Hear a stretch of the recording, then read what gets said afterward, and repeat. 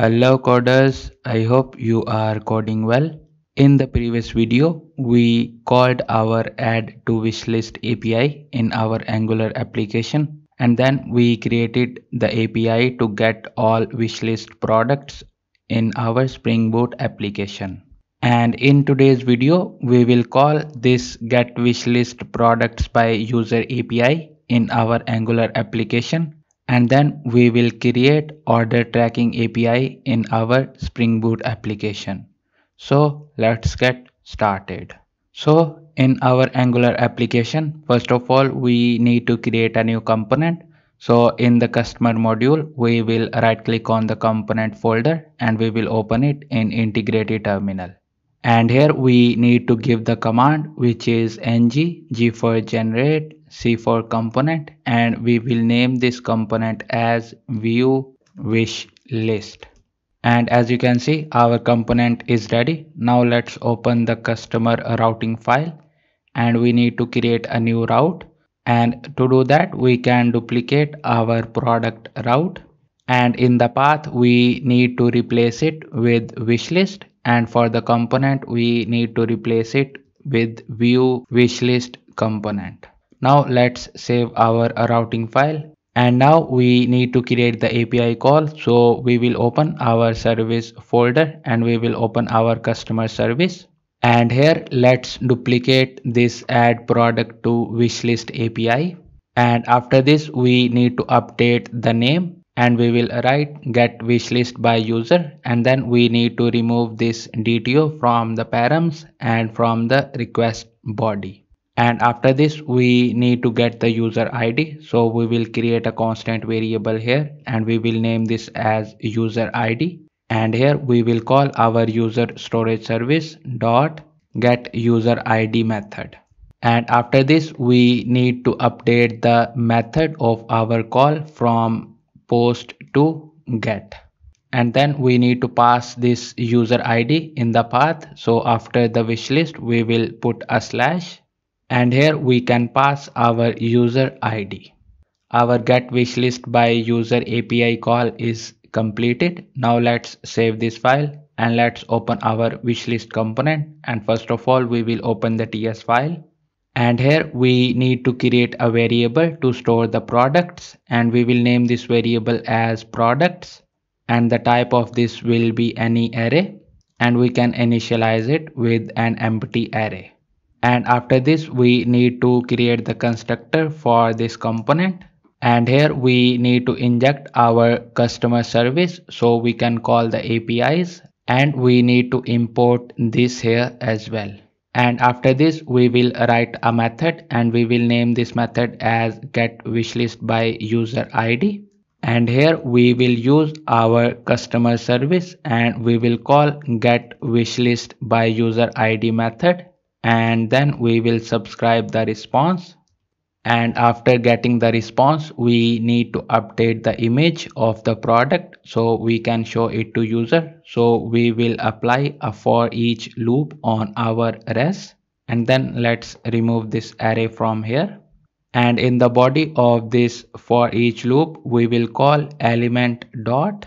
And we will name the updated image as processed image and here we need to paste the string which we want to attach. And then we need to call element dot returned image which we are getting from our backend application. And at the end we need to push this element in the products array. So we will use dot push method and we will pass element. And after this we will create the ng on init method and in this ng on init method we will call our get wishlist by user id method. And with this our ts file is completed. Now let's save this file and let's open our html file. And here we need to write a div and we will give it a class of center container. And after this we will write another div and we will give it a class of product cart and after this we will apply ng for loop and we will use let keyword and we will name single product as product. And after of keyword we will mention products which is the variable in our ts file. And after the for loop first of all we need to show the image of the product. So we will use the image tag. And in the source we will bind product dot processed image after the image of the product we need to show the other details and we will create a div and we will give it a class of product details. And in this product details first of all we will show the name which we can access by product dot product name and we will use h2 tag. And after the name we will show the description and the price of the image. So we will use p tags to show them and with this our html file is completed. Now let's save this file and let's open our css file. I will paste the css code here and you can pause the video and you can copy the css code or you can write your own code. And after this let's save our css file and let's write the command to run our application which is npm start and as you can see our application is up without any error. Now let's go to the browser and let's view the wishlist page. And on the login page I added the email and password of the customer. Now let's click on this login button. And after this we will click on this wishlist button. And as you can see here we are getting one product which we added in the previous video now let's go to our backend application and let's create the API to track the order. And to create the tracking API we need to create a method in our cart service implementation. So let's open this. And at the end of this class we will start writing our method. And this method will return order DTO and we can name this method as search order by tracking ID and then in the params we need to mention UUID and we can name this as tracking id and in the body of this method we will create an optional variable and this should be of type order. And we can name this as optional order. And we will call our order repository dot find by tracking id method and in the params we will pass tracking id after getting the optional order, we will write one if condition and we will check our optional order by calling is present method. And if it is true, then we will write the return statement and we will use our optional order and we will call get method and after the get we need to convert it to DTO so we will call get order DTO method. And if our order is not present then we will write return statement and we will return null from here. And after this we need to create this method in the order repository. So let's open our order repository.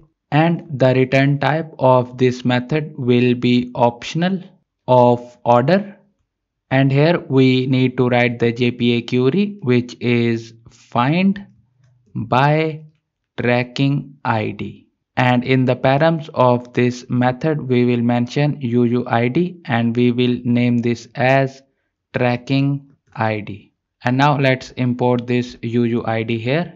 And now let's go back to our cart service implementation. And here we need to copy this and we will mention in the cart service and after this we need to write the endpoint for this API so we will right click on our controller package and we will create a new Java class and we will name this class as tracking controller.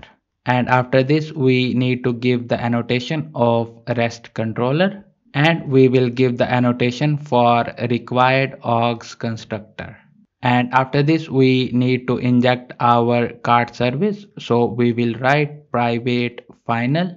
And here we will mention our cart service.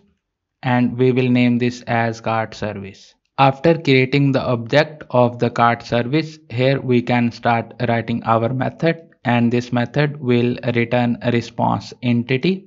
And here we need to mention our order DTO and we can name this method as search order by tracking id and after this we need to give at the rate path variable annotation. And we will mention uuid and we will name this as tracking id and in the body of this method we will create a new order dto and we will call our cart service dot search order by tracking id method. And in the params we will pass tracking id and after this let's remove these brackets from here.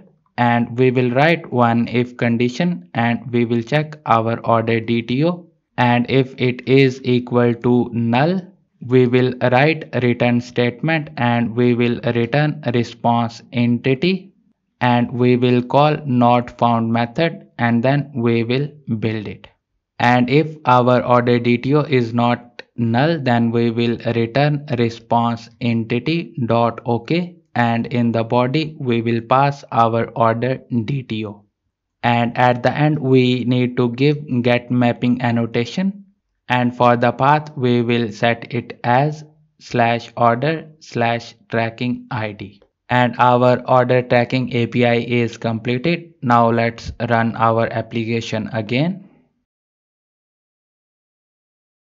And as you can see here our application is up without any errors. And that's it for this video. In the next video we will create a page and we will call this order tracking api from our angular application